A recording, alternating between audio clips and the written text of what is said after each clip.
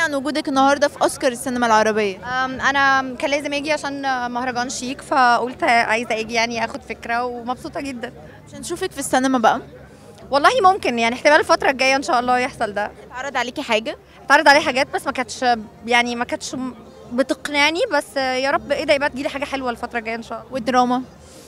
برضو ما جاليش حاجات حلوة كلها كانت حاجات مش قد كده فأنا مستنية بصي الستep الجايه دي مهمة جدا يعني. معايير الأفلام أو المسلسلات اللي أنت عايزة تكون في بداية مسيرتك؟ عايزة حاجة يكون crew قوي يعني مش عايزة حاجة أي كلام عايزة حاجة تكون آه، آه، أشتغل مع حد مهم يكون في ال history بتاعتي.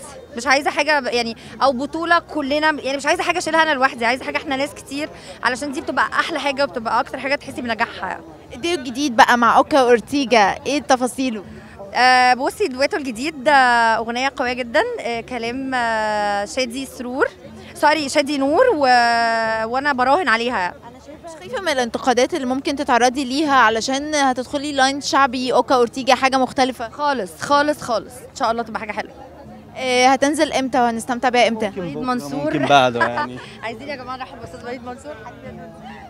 آه وليد طبعا من الناس المقربين جدا ليا ومن الناس اللي إحنا ابتدينا مع بعض وكان وشها يعني وش سعد عليا من أهم منظمين الحفلات في ال Middle East والمنتجين طبعا دلوقتي. ليكي رسالة للفنان تامر حسني بسبب مرضه دلوقتي؟ آه بقول لتامر بطل تعاند بقى واسمع الكلام علشان صوتك يرجع بسرعة لأن هو بيجي على نفسه قوي ودي تالت مرة تحصل في شهرين ف ده كتير يعني.